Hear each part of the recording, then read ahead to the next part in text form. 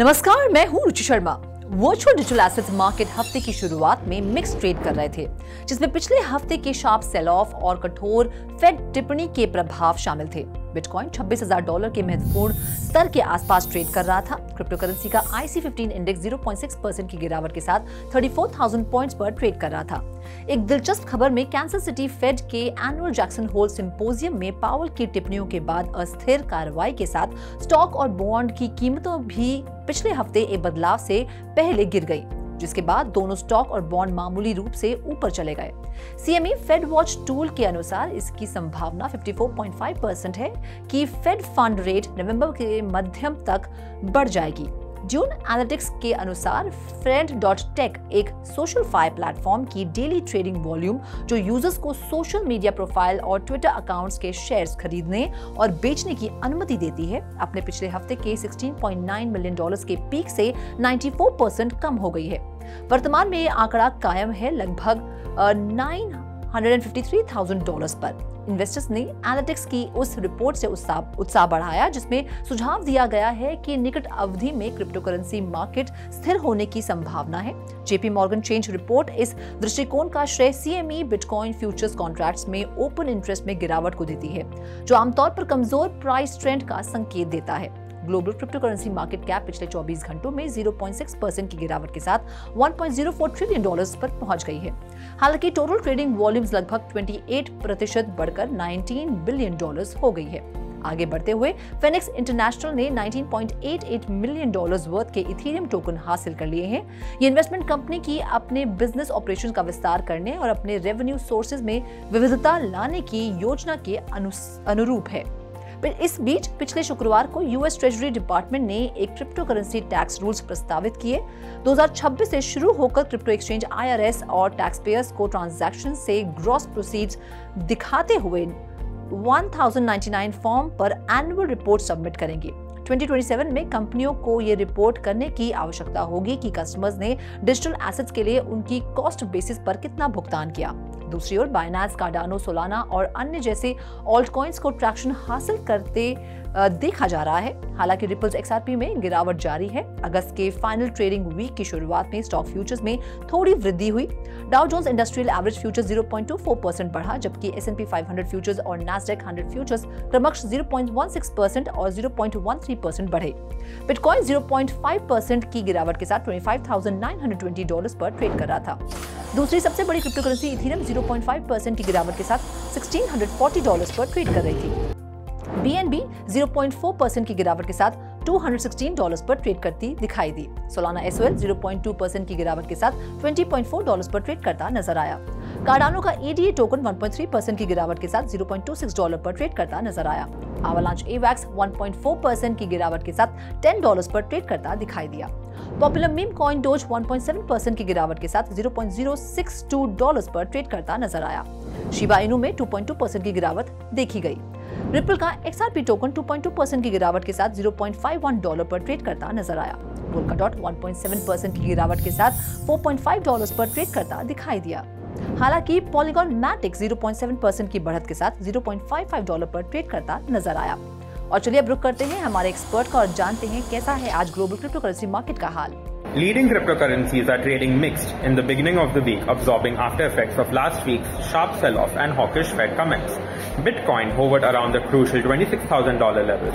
I think Bitcoin price could start a decent uptrend if there's a close above $26,200 and $26,500 levels. A downside break below the $25,400 level might push the price further lower.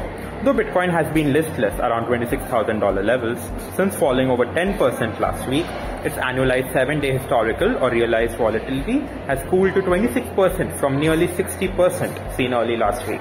Bitcoin's butterfly index, which gauges the relative richness of the out-of-the-money higher strike call options and lower strike put options by comparing Bitcoin volatility index DVOL with at-the-money ATM volatility, has risen to yearly highs.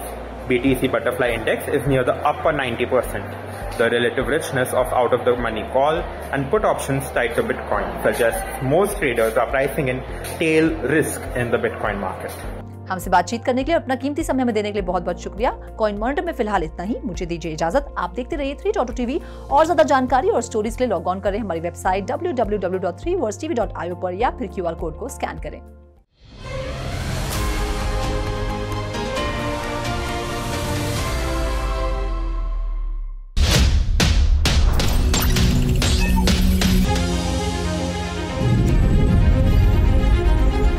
With 3.0 TV, stay connected with the world of blockchain. Stay up to date with infinite world of NFTs. Come explore and evolve with 3.0 TV in the metaverse. So many coins, so much volatility. 3.0 TV delivers the news that matters. The DEX aggregator 1inch Network has announced that it will now operate on Base Coinbase's Ethereum Layer 2 network.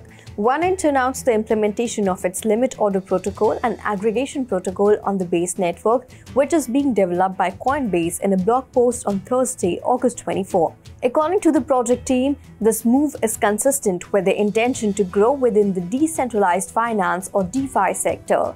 On the base network, 1inch will start up by combining liquidity from 15 decentralized exchanges along with Uniswap and SushiSwap. These DEXs just recently debuted on Base.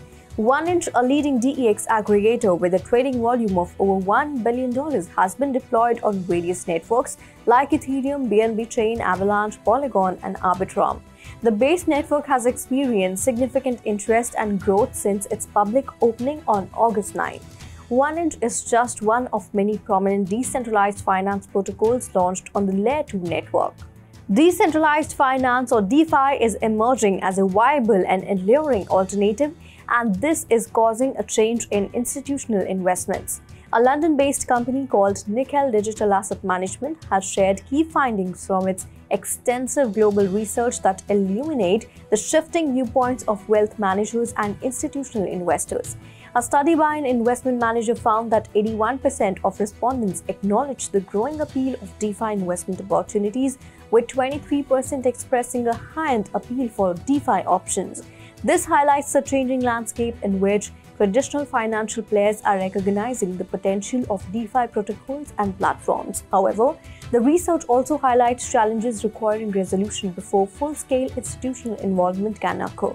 Liquidity concerns, KYC processes, and anti money laundering regulations are primary roadblocks in decentralized finance investments.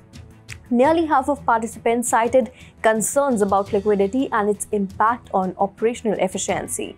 Moreover, 44% of respondents advocated for more defined regulatory frameworks before institutional investors could confidently embrace DeFi. Factors such as technology concerns 40%, secure custody solutions 37%, and uncertainty surrounding taxation 34% also significantly influence investment decisions within the DeFi ecosystem. According to reports, Magnate Finance, a DeFi lending protocol on the Ethereum Layer 2 network, Base, carried out a rug pull and took $6.4 million worth of assets from its users. Only one month after the Base network's official mainnet launch, this incident is the most alarming one to date. On August 25, PeckShield confirmed Magnate Finance's rug pull, stating that developers manipulated the price oracle provider, allowing them to withdraw all assets. They transferred $1.34 worth of DAI to a new address and bridging $1 million of loot to the BNB chain.